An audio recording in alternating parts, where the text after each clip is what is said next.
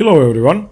Uh, today I'm going to go over a very exciting game played between Eugenio Torre and Anatoly Karpov. Uh, the game was held as a part of the exhibitional tournament organized by uh, the Phillips and Drew stockbroking firm from London in 1984 and it was it was a part of the chess renaissance in the United Kingdom and especially in London which which saw a steep rise in popularity of the game and uh, it culminated with the rematch Karpov-Kasparov, which was held in 86, the, their match for the World Championship title.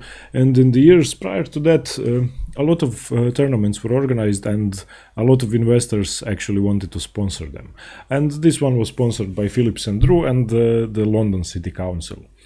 Uh, they uh, invited 14 of the world's some of the strongest grandmasters, among others uh, Yasser Seirawan, Viktor Korchnoi, John Nunn, Tony Miles, Jan Timman, Lev Polugaevsky, Speelman, of course, Anatoly Karpov and Eugenio Torre. So the tournament was really strong uh, at the time, and it was the first all Grandmaster tournament ever, ever held in the United Kingdom. And in this game, Torre faced Karpov with white pieces. Uh, Karpov finished the tournament in first place with uh, with nine points, and Eugenio Torre was unfortunately in last place. But uh, this game made up uh, for his uh, bad performance in the tournament generally. Eugenio Torre opened with pawn to e4, pawn to d4. Uh, we have knight to f6, c4, e6, inviting the Nimzo Indian defense, knight to c3, and now bishop to b4 by Anatoly Karpov, and this is now the Nimzo Indian. e4, c5, the Hübner variation by Anatoly Karpov, and this was a line which was uh, probably the most popular one uh, in the 80s, if in the normal Nimzo Indian lines with uh, without uh, queen to c2. And after c c2, uh, c5, Eugenio Torre plays knight to e2. This is now the Rubinstein variation of the Hübner. Now c takes d4, e takes d4, castles, and a3. This is all the main line, and this has all been, been seen a few thousand times before. Uh, a3 chasing the bishop away. It's not uh, that common to take here. Much better is to play bishop to e7 and there's actually a few hundred games with bishop to e7 and perhaps only one game with bishop takes uh, c3. So bishop to e7 d5 and this is where the where the variation branches out. There is two main moves d5 and knight to f4 Eugenio Torre went for d5 which is a slightly which is slightly less common but it's more active for white and it, uh, even though the position is immediately equal for black because d5 could be argued that it's overextending white's pawns and it would have been more solid to keep the pawn on d4 it it gives white more activity and more uh, attacking prospects. The other the other move after bishop to e7 is knight to f4, which which is slightly more solid. So the line goes uh, knight to f4, d5 by black now, c takes, knight takes, knight c takes d5, e takes d5, and bishop to d3. And in this position, white is already organizing an attack, but uh, his position is slightly more passive than in the previous uh, position because he gave black a lot of counterplay as well. His king is still uh, he's still on e1, and black also has the e file to play with uh, black can uh, uh, develop develop the bishop to g to g4 or to f5 if the squares get defended, or he could even uh, choose to play b6 and bishop to b7 and try to open up the diagonal the, the, diagonal somehow. So black has a lot of activity as well. And d5, uh, this other line with d5 gives white much more attacking prospects than to black. Uh, the line continues e takes d5, c takes d5, bishop to c5. And there, there is still some games from this position, some played by Tony Miles and by Svetozar uh, Gligoric, the Serbian Grandmaster, Yugoslavian at the time. So this was a line extremely popular in the 80s, and there's still 20 or 30 games uh, continuing from this position. b4 now, uh, gaining a tempo on the bishop, bishop to b6, and knight to a4, attacking the bishop and uh, threatening to double black's pawns, but in exchange black would get the open a file for his rook, and that's actually the main line. There are two moves here uh, black could opt for, uh, one is rook to e8, staring at white's king, and the other one is d6, uh, just opening up the bishop finally on the diagonal. And Anatoly Karpov goes for d6, and now uh, Torre continues with the main line knight takes b6, a takes b6, and knight to g3, solidifying the center, defending e4 with the knight, not letting black infiltrate, and Karpov plays uh, a tempo move, the main line once again, rook to e8, bishop to e2, and now rook to e5. And this is the end of theory, uh, so to speak. and this is where the, the games branch out and there are only a few more games from this position but all in all it's a it's a very theoretical line with 15 moves of theory and it has been greatly analyzed in the 80s but in the last uh, decade it uh, people started abandoning it a bit because white is definitely slightly better and he has at least half a pawn uh, advantage according to the engines. And in the 80s of course they couldn't have know that known that. But black is equal and uh, almost equal. And he has he has those double pawns on the b file but he has two very active rooks compared to white's rooks because the rook on h1 and on a1 are the rooks on h1 and a1 are still doing nothing and the rooks on e5 and on a8 are actually very active. Now the game continues with bishop to b2 uh, gaining a tempo on the rook and developing the bishop on the long diagonal. This is actually uh, the best move in the position giving up d5 because white has to give some material in order to develop normally since his king is still in the center and he can't afford defending this pawn with let's say uh, well there's actually no no way to defend it anyway. But prior to this he could have organized the defense of d5 but that would have been too much of a time waste. So now rook takes d5 queen to c1 of course getting away from the glare of the rook knight to c6 and now white finally castles. And the position is now actually a lot better for white because white's extra pawn is meaningless or okay it's the it's the d pawn but this pawn could easily be surrounded and attacked very soon. And white has uh, the bishop pair which is extremely strong in this position uh, especially the bishop on b2 and if you imagine uh, the bishop from e2 coming to c4 and staring at the king then those bishops compared to the knights are much much superior. And white has a better pawn structure. He has one could say a safer king and also a better minor piece because this bishop isn't really doing that much. After castles, Karpov tries knight to e5. Uh, we have queen to e3, uh, centralizing the queen, attacking the, the b6 pawn, bishop to e6, h3, b5, and now uh, rook a to c1. And in this position, White's, uh, White's advantage deteriorated a bit, and uh, positionally speaking, black black is uh, out of trouble for now because he managed to develop his pieces normally. White could, could have played more aggressively.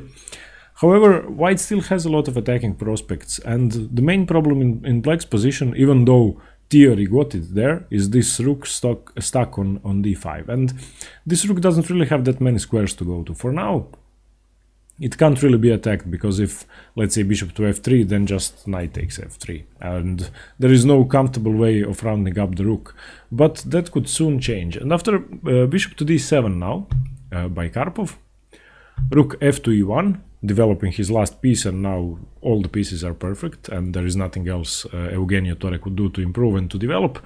Now Kramnik makes, uh, I'm sorry, Karpov makes the, the losing move in the, the position. And even though visually the move is almost logical and it almost makes sense sense it makes the position just just busted for black he plays rook to c8 and this move makes some sense he has to try and challenge the c file uh, the c file at least even though it can't he can't take over the c file but this move has several several problems connected to it the first one is that uh, okay uh, the knight on f6 is defended by the queen so if the queen moves, then bishop takes knight would double uh, black pawns. That's the first problem.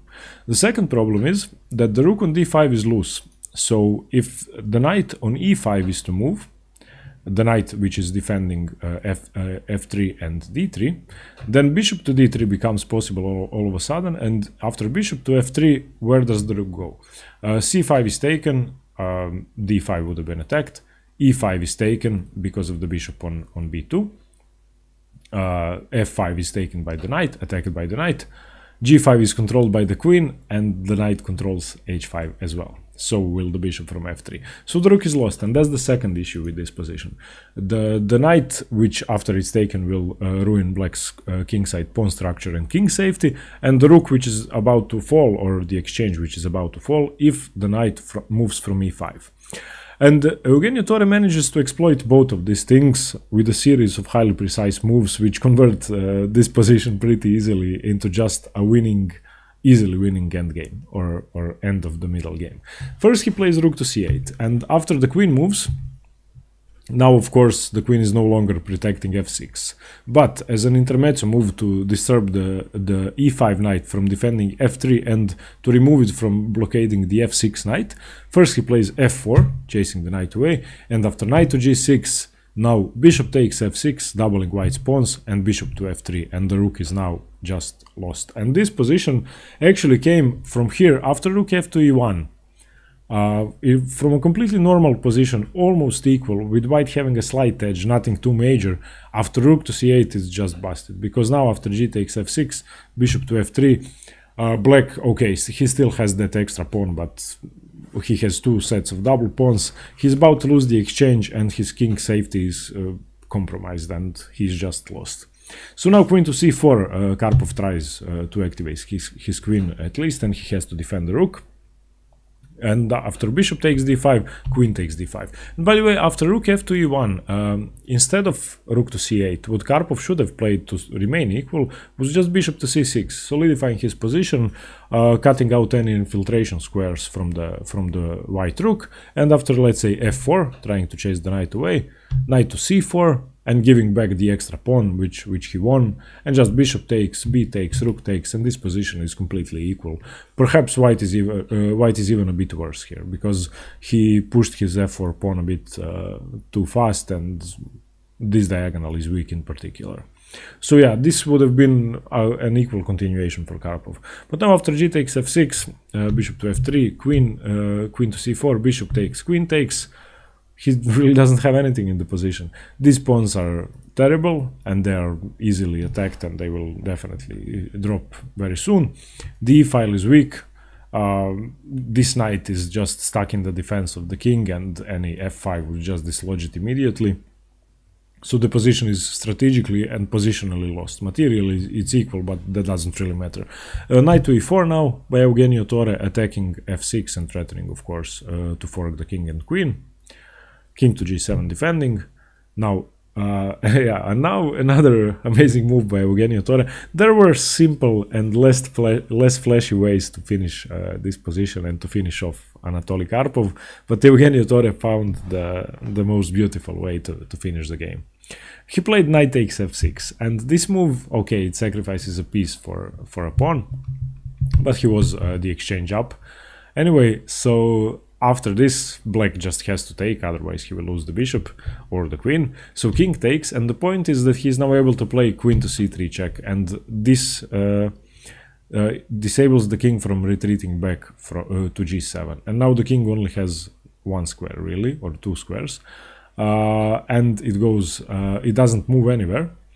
Uh, he plays knight to e5, offering the piece back, which actually had to be taken, because if the king if the king uh, moves somewhere, if the king moves to, let's say, uh, I don't know, king to f5, then g4 check, king takes f4, and now queen to e3 is checkmate. So the king can't really go anywhere. And after king to c3, after queen to c3 check, so the only uh, square is cut off, and he has to play knight to e5, f takes e5 check, d takes c5, rook to f1 check, king to e6, queen to c2, and you can see the position now is just okay. White is one pawn down. He has uh, he has the exchange, but the main point is king safety, and black's king is just running away uh, through the whole board, and it, there's no way he could survive for long.